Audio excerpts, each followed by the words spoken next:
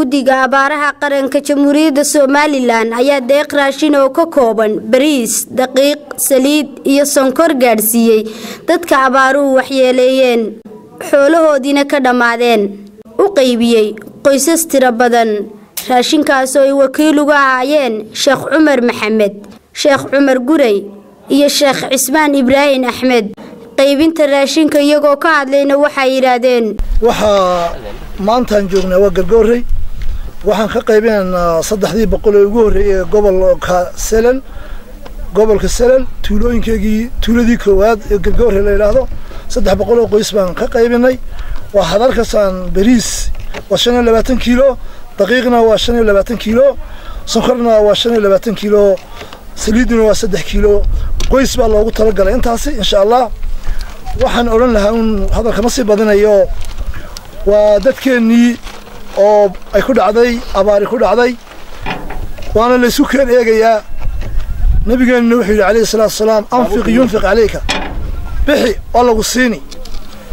Insha allahu baaqa anu mar labaad waxaan leeyahay aad baad u mahadsantihiin inta muslimiinta dalka somalilan joogta ee soo bixisay lacagtan intiina kalena ku dayda. Halkeen uu sheegay waa goobtii labaad ee degmada boon gobolka selen oonu ku siinayno laba boqol oo qoys oo xali maale sidaa iyo wada shaqayn wanaagsan inaan la socono hawsheena gobolkay marayso.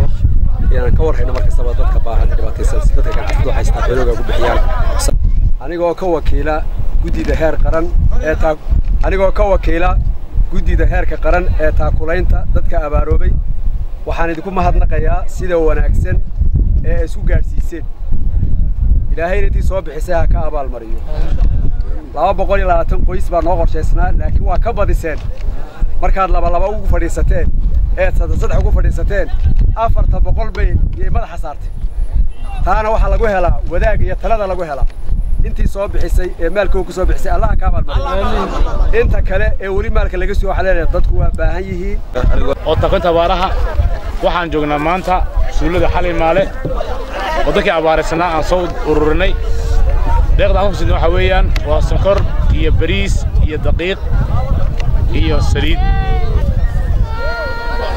waxaan qabanaynaa waa laba boqol oo qoys. Gudoomiyaha degmada boon. Waa goobtii labaad aynu ku bixinno istir ahaan degmadii boon. Oo ka tirsan gobolka selel sidaad arkaysaan baan ugu qaybinay iminkana waxaa noo horay dhegixi madooba iyo weeraar. Kulley xali maale waxa lagu xaman jiray. Waa meel bucad baa la odhan jiray laakiin maanta si basar oo qurux badan ba u qaateen waana dhig sidoo kale waxaa iyaguna ka mahadnaqay deeqdan raashinkee la soo gaadhsiiyey qoysaskii abaaruhu saameeyeen ilaahay wuxuu noo soo diray dee deeqdaa alla noo keenay ee culimmadu noo keentay ee somalilan meeshay doontaba ha ka keentee culimmadaa somalilan ka socotahay noo keentay baa yaa la noo keenay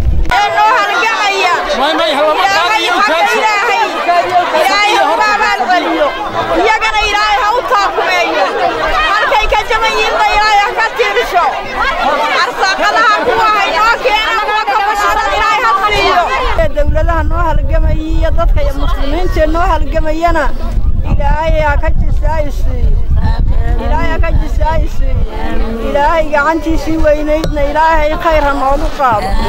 Diinta ilaahay ha nagu hanooni khaatamada ku hadlaya afka tuulada weeraareed waxaan halkan uga mahad celinayaa mar labaad guddida heer qaran ee taakulaynta abaaraha oo sidii rasmiga ahayd noo soo gaadhsiisay iyada oo maamulkeedana si wacan noogu soo wacaysay camran caafi tv-ga qaranka boorama